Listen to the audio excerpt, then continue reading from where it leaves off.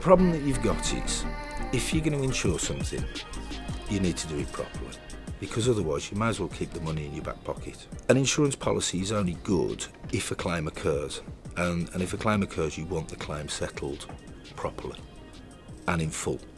And if you haven't got those sums insured correct, then that isn't going to happen. It's not that the insurers don't want to pay out all the money, they will stand by the, the, the wordings of their policy. The issue that you have, of course, with underinsurance is the fact that you have average on a, on a policy. And so, in the event of a claim, and the loss adjuster, and um, my, one of my clients, so I would be there as well. Um, they're looking round at, at what's what's remained of, say, a fire. The loss adjuster will look at that and look at what he feels would be a true replacement cost of what you're effectively claiming for. And the problem is, if you are underinsured, then they will apply what's known as the average clause, which means that you know if they're 20% underinsured and they've got a, a hundred thousand pound claim, for instance, they will only pay eighty thousand pounds. Now, to a garage, um, you know that, that that's a lot of money, and therefore it's very important that all sums insured are adequate for what they're required. Ultimately, an insurance policy requires you to be adequately insured, and they're on a normally on a, what we call a reinstatement basis. That means that at the time of the claim, your sum insured should reflect how much it will cost to replace that item new for old. So if you've got a ramp, your ramp might be five years old.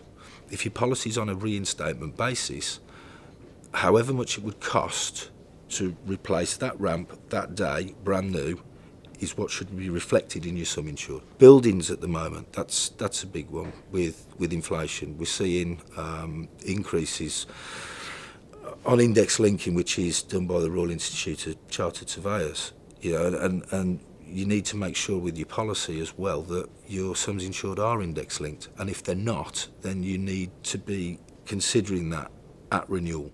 So, as a broker, what we find when we go in to see clients, they will we will do a fact find and a review, and they will ask us the question, "What is your admin fee?" Our reply will be, "We do not charge admin fees." Embedded in our DNA as a business, a traditional broker values, we don't believe that any incurred costs around administration should be passed on to our client. In some cases, we have seen admin fees being charged at £45 a policy, right up to £195 for a renewal premium. From a personal point of view, I've never agreed with admin fees on commercial business. Um, it, it, to me, it's not right. I would suggest that they would probably try and offset it by saying that, you know, cost of FCA increases, you know, in terms of that type of thing. But no, the, an admin fee is to me unnecessary, and I certainly know that in Kingfisher, we we will not be charging admin fees to, to clients. We, we're in a cost of living crisis as it is. So in, in terms of people needing to save money, that's one area that we can help in not charging those sort of fees. The relationship with your client, we are account facing. We will go and see every client. If a client wants a visit, we will send a specialist expert in the motor trade sector to go out and see the client. What's really important is our client always needs us the most at the time of a loss or incident. That is when they need us more than ever, not at renewal, not at a change of vehicle or an MID update. It's all around helping that customer through that claims journey from start to end, mitigating the loss to protect their loss ratio, to protect their future renewal premiums. You can go year in, year out, paying your premium, wondering what you're paying it for because you've never had to use it. The day that incident happens, that large loss, you come to work, you've had a flood, you've had a break-in, that is when you need your broker, that is when you need your insurance policy, and that is when we as a broker should kick in and deliver that service to our client and protect them through that whole process. It's a very stressful time for them.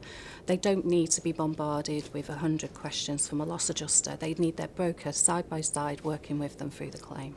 For an admin fee, I would be transparent and say you are not getting anything over and above what you would get from a broker that did not charge an admin fee. You will still receive the same set of quality documents from your insurer.